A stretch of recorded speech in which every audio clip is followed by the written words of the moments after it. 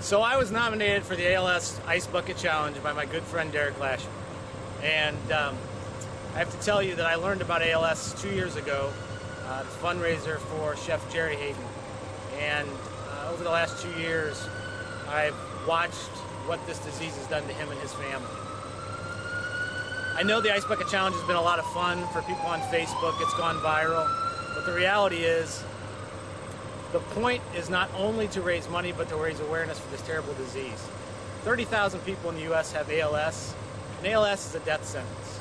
It's a disease that has no cure, and it's a slow, painful death. Typically two to five years, and over that course of time, you slowly lose control of your bodily functions until you no longer exist.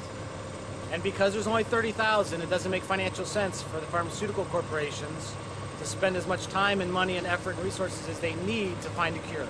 So we don't have one yet. So it's incumbent on us, people of the U.S., people of the world, to come together and look at this as a humanitarian effort to donate money, to raise awareness, to help save lives. So, for those of you that know me, I don't like to do what everybody else does. I'd like to change the Ice Bucket Challenge. My first challenge is corporately. I challenge every employee of the Testa companies. Take the Ice Bucket Challenge. When you post it, post hashtag ALS Corporate Challenge.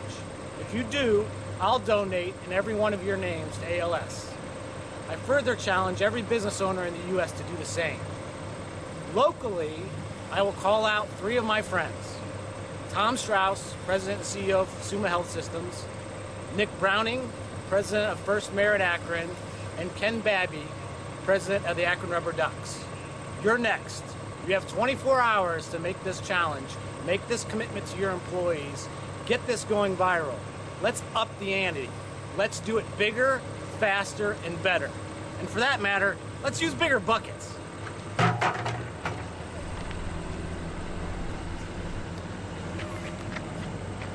ALS Corporate Challenge.